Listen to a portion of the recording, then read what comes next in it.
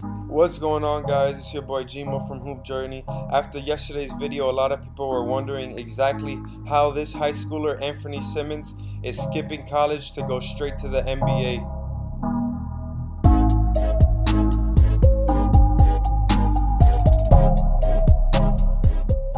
A lot of people don't know exactly what the one and done rule consists of and how you can loophole around it. So today I'm here to break down exactly what to do and exactly how he's doing it to go straight to the NBA from high school.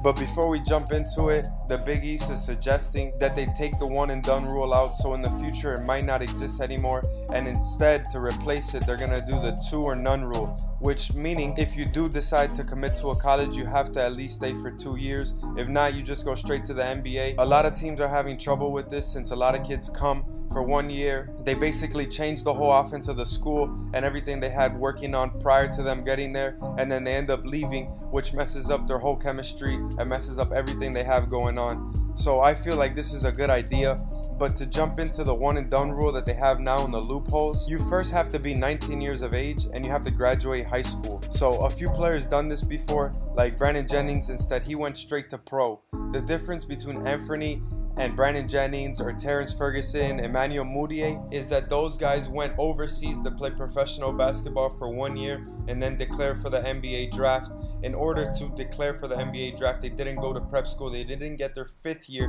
like Anthony did because Anthony graduated his four-year degree out of high school and then went one year of prep school to IMG Academy.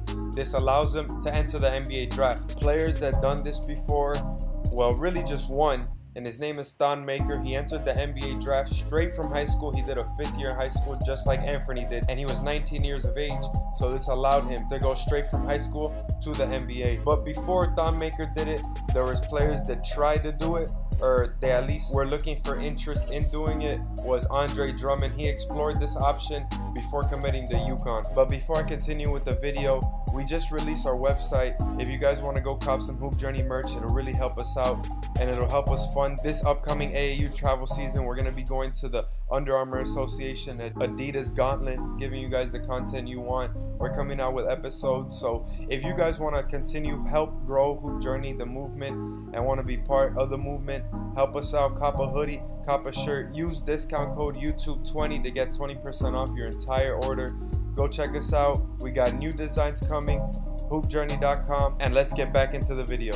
As I was reading comments from yesterday's video, a lot of people were saying, why is Anthony doing this to himself? Why is he declaring for the draft if he's not ready? Well, that's all opinion based. ESPN on their mock draft has him going as a first rounder, somewhere in the mid to late area, but I've seen him as high as seventh on mock drafts. So where he's gonna fall all depends on how well he does on workouts, his interviews, etc. And I'm gonna give you my opinion as always. I feel that he's a great scorer. He might not be as strong for the NBA, but his floater would definitely help him out.